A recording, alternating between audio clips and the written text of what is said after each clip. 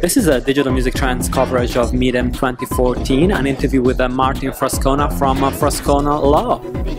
DMT's coverage is brought to you by CI, the delivery platform used by leading independent labels, distributors, and aggregators around the world on ci-info.com. Hi, Martin. It's great to have you uh, here at uh, MIDEM 2014. How's it going? It's. I'm glad to be back. I'm working off 36 hours without sleep, so this could get really interesting. So I really, I really appreciate that. it's, it's definitely a tough call, and it's uh, it's quite late in the afternoon as well. So uh, congratulations on, on keeping it together. so, Finally got out of Atlanta, so I'm, I'm glad to be here.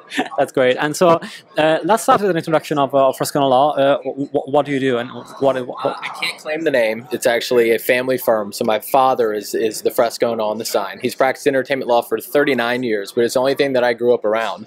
Um, everybody kind of has different uh, backgrounds in, in in the legal world. Mine is with uh, working with international artists. So currently, my, my clientele spans uh, 34 countries and six continents. So it's a very interesting kind of mix, and luckily, not something that a lot of uh, uh attorneys kind of focus on international aspects. Absolutely, and that's something I try to do on the show as well. I try and, involve as many people from uh, uh, different continents as possible because usually the conversation is always based around UK, US maybe Europe. Uh, nobody ever thinks about Asia or South America. There's, there's other things out there, that's yeah. for sure. so let's talk about you know some of the uh, business challenges when it comes to the internationalization of uh, music and uh, especially when it comes to digital uh, digital services. So uh, we're seeing a huge amount of attention paid by players like Spotify and Deezer to being international players. But then again, uh, often, oftentimes, uh, you know, we don't see the same propensity to have a really international catalog. Like, you know, it's really difficult for them to go out and license uh, the, the appropriate catalogs from local labels. So when you work with local artists, you know, how much uh, uh, are they paying attention to being present on those services? And is it is it quite seamless for them to actually be able to make deals with uh, with bigger streaming companies? Yeah, interesting question. I'll probably spin it a different direction. So it's um, a lot of the international clients that I represent vary in scale. So I think it kind of depends on where are they. Are they signed with a major? Are they an independent? Are they looking to kind of grow an international fan base? Uh, in 2012, I did a lecture here. It was international strategies for emerging artists, um, and it was interesting because everybody's kind of gravitated two years later to the Jay Z Samsung model about how he was able to push a million albums, I believe before the, the, the release date. Oddly enough, that's something that the independent kind of global community has been doing for decades. And, and ironically, they monopolized that industry. So a lot of what independents are doing, not only they have to be affiliated with the correct streaming service based upon where they're located and where they're expanding, they also need some sort of non-traditional strategy on how to expand their music into other countries. Um, for instance, uh, there was an artist that we worked with. She was based out of uh, Stockholm, Sweden. She was a country artist. Um, this was probably five, six years ago, so country wasn't a big uh, genre there. And what we did, we ended up um, kind of partnering her with the Swedish American Chamber of Commerce, which ironically is a massive organization within the States. And um, she couldn't have any distribution. No distributor was interested in her within the U.S. There was no label that was interested because she couldn't document sales. Um, so we were able to broker this deal with the Swedish American Chamber of Commerce where we could specifically focus just on Swedish Americans, show that there was a Swedish American fan base. There was a country buying Swedish American fan base, and that was able to kind of progress her album uh, where she would generate sales within the States, tour, and then that ultimately progressed to a deal with Warner some four or five years later. So um, independent artists are constantly looking for visibility platforms, and I think that's really the main uh, goal when you're talking about the international community. One, where's the scale? Are you dealing with somebody that's a major recording artist? Obviously, there's other people that are going to assist with that. A majority of who you're dealing with are independent artists, so they need to develop these strategies on how to push things themselves. Sure. And you know, when I talk to music lawyers that deal with artists and independent artists a lot directly as well, I often ask, you know, at what level, you know, do you take take artists on? You know, how, how does it work at the, those beginning stages? Because of course, a lot of uh, uh, artists that are starting out might not have the money to pay for a law firm to represent them. So how does that work? I'm well aware this is going to sound like a shameless plug, and, and it's not. Um, so kind of take it with a grain of salt. I think that that varies on who you're talking to. Um, traditionally, firms are, are very kind of set in their ways in terms of how they have to bill clients. So it's usually a, an, an hourly billing cycle. That would scare me to death if I was an artist because I think what you need to use an attorney for not only is the legal work, but also kind of cre- uh, connecting the creative dots and making sure there's a goal for the entire team to move forward. When When you look at an attorney, that doesn't financially make sense for an artist as from an attorney perspective, I prefer that I have a client before they have anybody else on their team.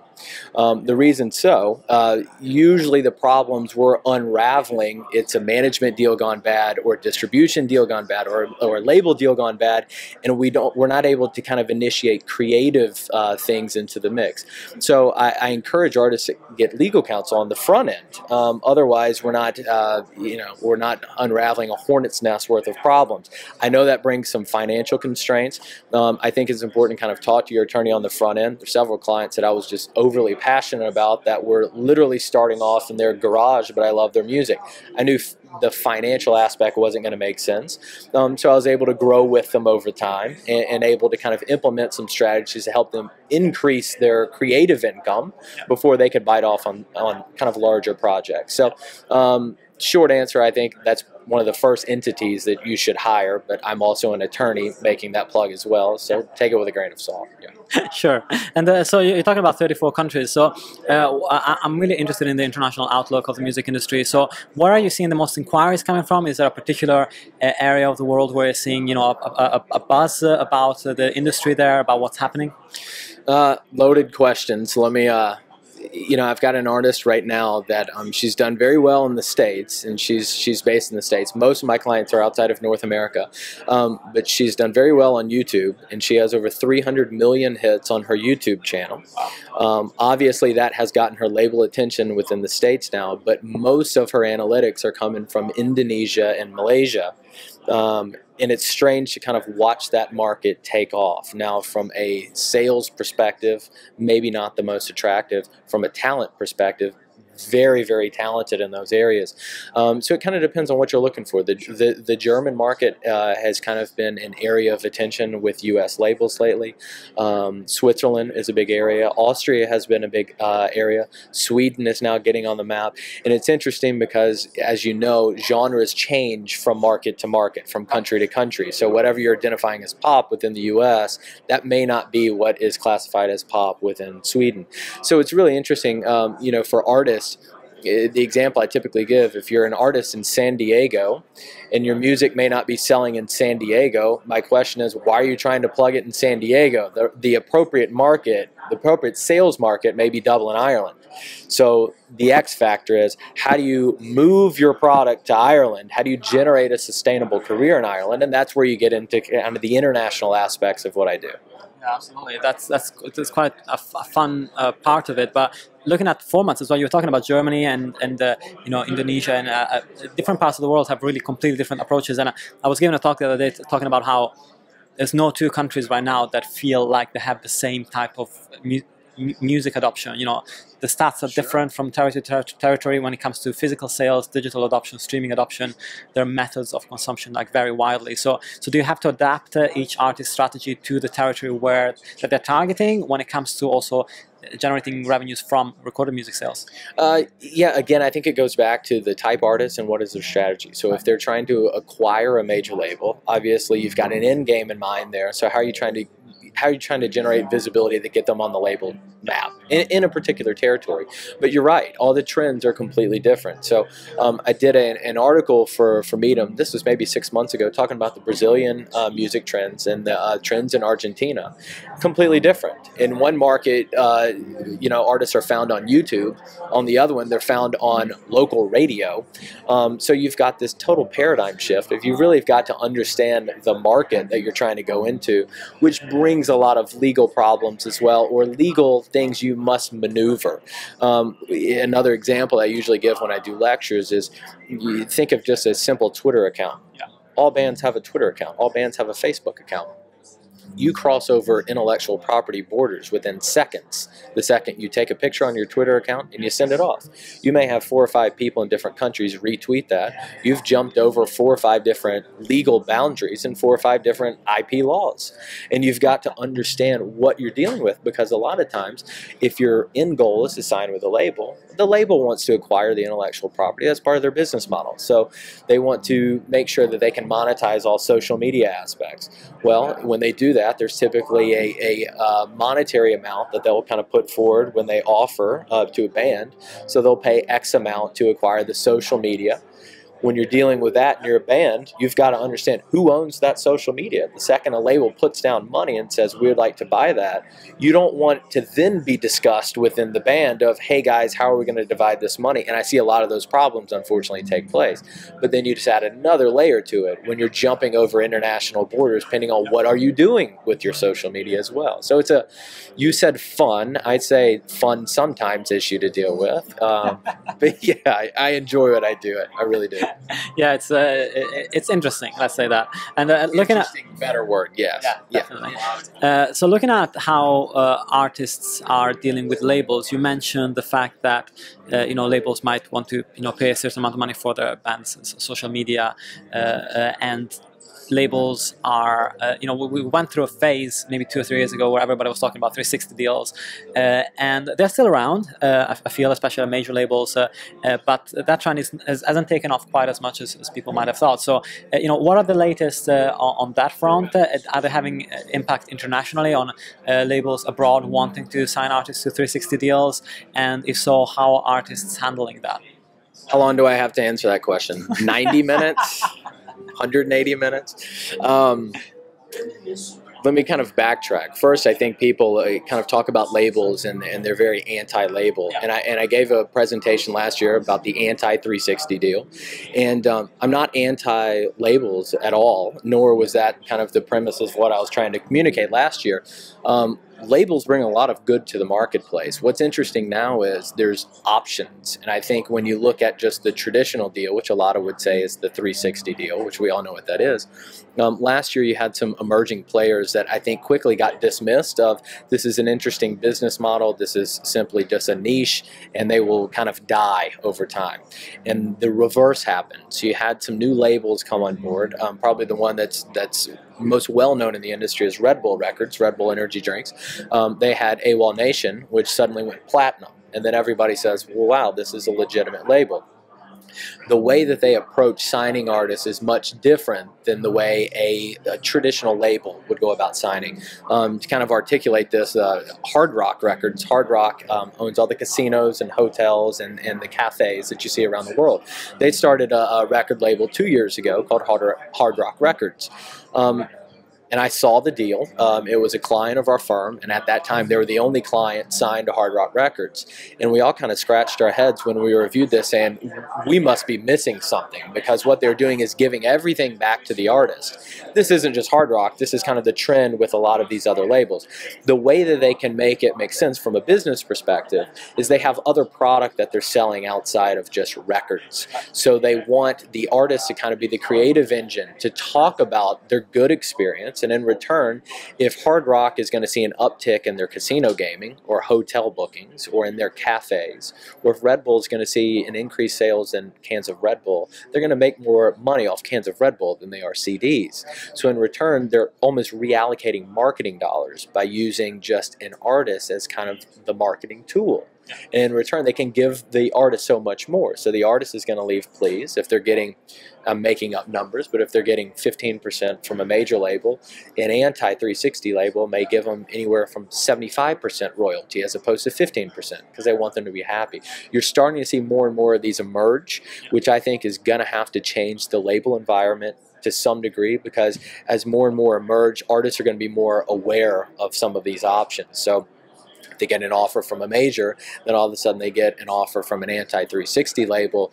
That now it's it's it's difficult to choose. Yeah. When I think a long time ago, um, it, it was almost the name alone could strong arm a lot of these deals back into the major labels' favor. Now that's not necessarily the case, and you're seeing these pop up all over the globe. So it, it, it started off in North America, but now you're seeing them kind of scattered throughout. Yeah, and uh, of course, uh, looking at uh, somebody like Red Bull or Converse, you know, doing those types of uh, commitments to music, uh, they are long-term commitments, and it takes it takes a, a, lo- a, long time before people start really appreciating the work that you're doing, and you know, starts uh, smelling authentic in a way, and, and, and fans also embrace it in, in, in that way. So, do you, do you think more brands are going to be prepared, given the success of these of these companies, to get into the music game for the long haul? We're seeing a lot of projects that maybe last a year and then get dropped.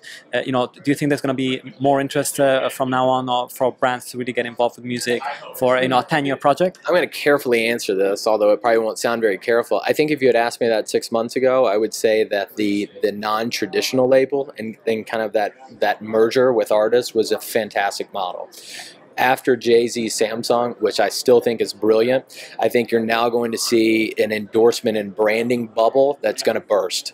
And and the the reason I feel that way is when you look at a Jay Z um, and what they did with Samsung, that entire model is is based upon some sort of monetary exchange. Jay Z is going to give the rights to this for X amount of dollars, and I think you're going to have more labels that are pushing that, and it's a brilliant business model. But unfortunately for independent artists, what they've been doing is is brokering these same type deals, but they've been doing it for decades, where it's more we're not demanding X amount in return, we just want visibility, and that visibility from the brand may be able to assist in sales on the back end, but that's all they want. I think with major labels now pushing it or major artists pushing this kind of this partnership where they're demanding X in return, it's going to dilute the market for independent artists. I think there's going to be way too much out there, and at some point, brands are going to start to back away, saying this financially doesn't make sense for us anymore because artists are demanding so much. But it's not the independents; it's more so the major artists that are doing it. And again, I don't fault the business model. I think it's just going to be very flooded at some point. So we're going to have another shift. Sure. I wanted to uh, close by talking about uh, live, and so uh, we're seeing uh, that bands can get can have an influence uh, in countries who are very far away from their own, uh, as we talked about earlier, and you know they can explode on YouTube in, in random places really. so. how are the financials working out for the artists in, in that case? Are there options for them to you know go and play in a country that is you know uh, 12 hours away on a plane without losing money and making it uh, you know financially viable as, as an option. Yeah I, I, think we're as an as an attorney you're constantly exploring ways for an artist either to make money or an artist to save money. I think yeah. naturally that kind of comes with what we do. So um, assuming a band has a fan base abroad somewhere that you you've got to go there. You can't just live on the internet. At some point people want to see you they want to buy music they want to engage with you at the merch table. Um, one way we're able to assist, and, and this is changing um, so rapidly, it's probably going to change again as you and I are sitting here, but we've had artists that are now exploiting global film incentives. And what that is, um, actually did an article for Medium. This was something this past year, so I'm sure you can find it on the Medium blog, but it was um, what you're having independent artists do, and major labels do this as well. Each country essentially has their own film incentive where they're trying to lure film productions into a particular area. When they do that, um, they usually look at what amount is being spent on that production, how are you using uh, local talent, whether that's local producers, production companies, so forth. And if you're spending X amount of dollars there and the project qualifies as a production according to that local law, you may be able to qualify for X amount going back as, uh, as either a tax credit or just a rebate. On top of that, there's lots of programs where artists can kind of explore what grants can we apply for so we can get to another country. So I, those two aspects alone, one, you can, you, as long as you are going and, and, producing a film project in some capacity, that's something that you can kind of leverage to save money or make money. Uh, and on top of it, trying to qualify for local grants as well. So those are two options that artists can use to kind of push things abroad. Now, um, those sound simple in theory. They're very complex to kind of push to the finish line, but those are two options. Yeah. That's, that's great, and uh, you know, uh, of course, if you want to find out more about Martin, you, he's written a, a few uh, Medium blog posts, so I'll definitely link out to those. Uh, and uh, uh, the website for the law firm is frascognalaw.com frascognalaw.com. Uh, it's uh, fantastic, uh, great talking to you. And if any artists uh, or anybody wants to get in touch with uh, Martin, yeah, I'm sure you'll find all the details on the company's website. Thanks so much for your time. Absolutely. Thank you for having me. And this has been the DMT coverage of MIDEM 2014. You can find all the information on digitalmusictrends.com or youtube.com slash digitalmusictrends.